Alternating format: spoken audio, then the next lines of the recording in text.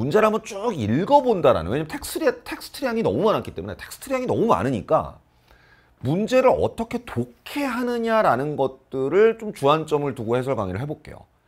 그러니까 자세한 풀이, 그다음에 자세한 풀이법의 비교, 접근법의 비교, 어, 좀 더 완결성 있는 풀이, 풀이도 중요하지만 오늘은 좀 이제 어떤 그런 외관상의 특징이 두드러졌던 심리적 압박이 좀 많이 가중된 상태에서의 어떤 컷 저하, 난이도 상승, 체감 난이도 상승이 굉장히 핵심적인 그 키 포인트가 되는 그런 시험이었기 때문에 조금은 약간은 뭐 국어 영역 지문을 읽는다는 기분으로 어, 이런 텍스트량이 많은 정보량이 많은 그런 이제 외관의 시험을 우리가 어떤 식으로 풀어가느냐를 한번 이제 제가 뭐 이렇게 한번 시뮬레이션해서 보여드리는 형식의 해설 강의를 좀 해볼 텐데 조금 답답할 수는 있습니다. 제가 보통 그림 핵심적인 것만 딱 따놓고 이제, 이제 바로 문제 읽으면서 그냥 했는데 조금 좀 다른 방식일 거예요. 저, 저한테 문제풀이를 들으셨던 분들도 조금 낯설 텐데 일단 이게 해설 강의라는 점을 참고하셔서 그런 특징들을 좀 잘 한번 짚어보자 뭐 그런 얘기입니다.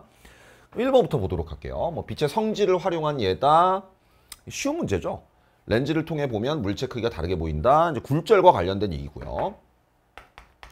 그 다음에 무반사 코팅. 간섭 현상이 이용된 걸 고르라고 했으니까 상당히 지식적인 문제예요. 무반사 코팅.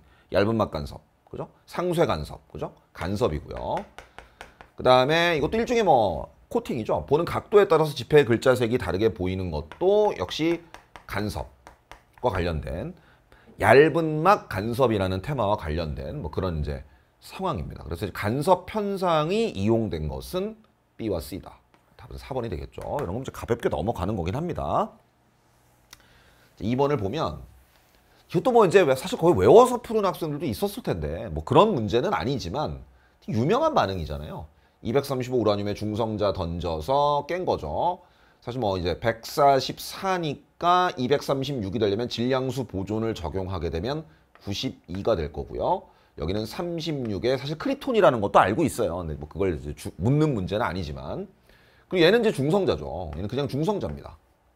물론 맞춰보고서 중성자라는 걸 확인할 수도 있지만 우라늄 핵분열 반응에는 이제 중성자가 이용된다. 느린 중성자가 이용된다라는 거 정도는 이제 상식적으로 알고 있으면 더 좋, 죠 스트론튬하고 질량수를 비교하면 92고 얘는 94니까 이거는 작죠. 작다. 틀렸고요. 그 다음에 니은은 중성자다. 맞고 질량 결손에 의해서 에너지가 나오는 거죠. 맞는 얘기. 답은 4번이 되겠습니다. 뭐 여기는 아주 뭐 경쾌하게 넘어가야 되는. 그 다음에 이것도 이런 문제들은 정보량은 많은데 여러분들이 이제 이게 이게 경험이거든요.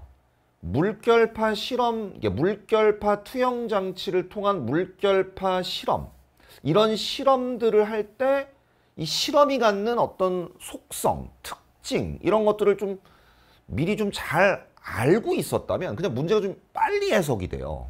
다 일일이 읽지 않아도 물론 읽긴 읽어야 되지만 좀 빠르게 간추려집니다. 무슨 얘기냐면 깊이를 다르게 한다. 그러면 넣은 영역은 당연히 넣은 영역은 얕죠. 안 넣은 영역은 깊습니다. 그쵸? 그리고 어차피 진동수는 불변이거든. 진동수는 뭐 수면의 그 물결 수심이 얕든 깊든 수심이 얕다 깊다는 이제 물결파 진행 속력의 차이를 유발하는데 그런 거좀 알고 있으면 바로 보이죠. 그리고 이제 이게 이 무늬들이 무늬 사이의 간격, 어두운 무늬와 어두운 무늬 사이 간격 또는 밝은 무늬와 밝은 무늬 사이 간격이 결국 한 파장이거든. 파장이 길어진 거거든. 이미 아는 애들은 이거 되게 빨리 풀었어요. 뭐냐면 여기가 느리고 여기가 빠르니까 진동수 불변에 의하면 여기가 파장이 짧고 여기가 파장이 길 수밖에 없죠. 그러니까 아 파장은 짧고 길다. 그리고 이제 물결파 투영 장치에서 이제 위에서 빛을 쏘면 빛을 쏘면 투영된 물결파 무늬는 뭐냐면 볼록한 부분은 좀 밝은 무늬가 생기죠 거기에. 볼록한 부분은 밝은 무늬가 생기고 오목한 부분은 어두운 무늬가 생깁니다. 빛이 투영되면.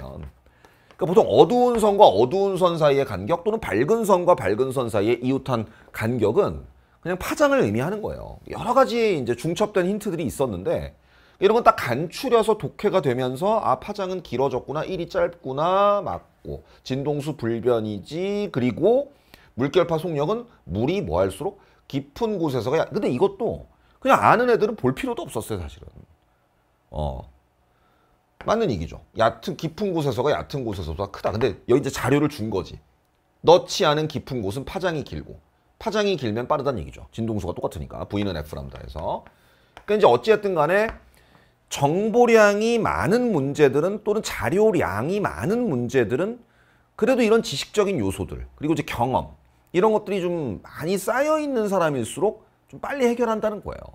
연습이 많이 필요하다는 거지. 본질적으로 공부를 많이 해야 된다는 얘기입니다. 예. 경험이 조금 좀 많이 축적돼 있었으면 이런 것도 빠르게 빠르게 넘어가는 거죠. 그러니까 답은 3번이 되겠습니다. 쉬운 문제였어요. 그럼 이건 뭐 너무 쉬운 문제라서